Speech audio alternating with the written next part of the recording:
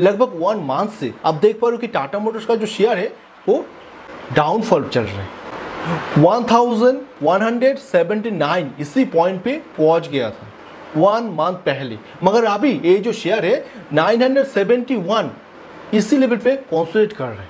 1000 का जो लेवल है, इसको क्रॉस नहीं कर पा रहे इसका पीछे बहुत सारा रीज़न है। चलो मैं कुछ इंपॉर्टेंट रीजन को मेंशन करने का कोशिश करता हूँ। चलो देख सकते हो, आज का जो ट्रेनिंग सेशन है, आज है 29 सितंबर 2024 आज टाटा मोटर्स यहाँ पर 971.80 इसी लेवल पे है। उसके साथ साथ ये आज यहाँ पर ट्रेनिंग सेशन में पॉइंट नाइन फाइव आप गया एक पॉइंट भी आप नहीं किया। तो मैं ये देखने का कोशिश करता हूँ, एक वीक से पूरी तरह से डाउन पे चल रहा है ये जो शेयर है, उसके साथ साथ वन मंथ पूरी तरह से डाउन पे चल रहा है ये जो शेयर है। वन ईयर पे लेता हूँ तो वन ईयर पे थोड़ा सा अपर गया था, मगर अभी ये डाउन पे चल रहा है। किस रीजन से? मैं यहाँ पर देखने का कोशिश करता हूँ, ये जो शेयर है 945 से 1000 इसी लेवल पे पूरी तरह से कॉन्सोलेट कर रहा है नाइन से टेन डेज़ तो क्यों? किस रीजन से? इसका फ़र्स्ट रीजन है प्राइस कट टाटा मोटर्स का जो पॉपुलर कार है जेलर या ईवी, इस कार में टाटा मोटर्स ने 2.05 लाख का डिस्काउंट पूरी तरह से प्रेजेंट कर दिया।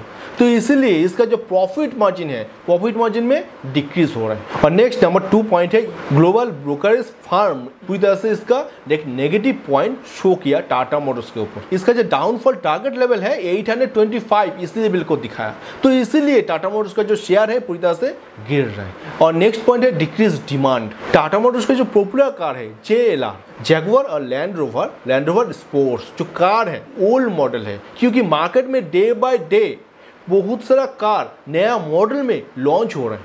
तो बहुत सारा बायर पूरी तरह से डाइवर्ट हो जा रहे हैं अलग कार के ऊपर। क्योंकि डे बाय डे बहुत सारा नया मॉडल आ रहा है मार्केट में। उसी मॉडल में पूरी तरह से डाइवर्ट हो जा रहे हैं बहुत सारा वायर तो इसलिए टाटा मोटर्स पॉपुलर कार का जो डिमांड है, ये पूरी तरह से डे बाय डे डिक्रीज हो रहा है। और नेक्स्ट लास्ट पॉइंट है लो मार्जिन टाटा मोटर्स का जो पॉपुलर कार है जेएलआर और ईवी कार इसमें 2.05 लाख डिस्काउंट प्रेजेंट कर रहे हैं। इसलिए कंपनी का अर्निंग पूरी तरह से डिक्रीज हो रहा है। और इसके साथ साथ टाटा मोटर्स का जो शेयर है, इसके ऊपर इसका इफ़ेक्ट पड़ा और ये पूरी तरह से डे बाई डे डाउनफॉल चल रहा है। और शेयर का price day by day decrease हो रहा है।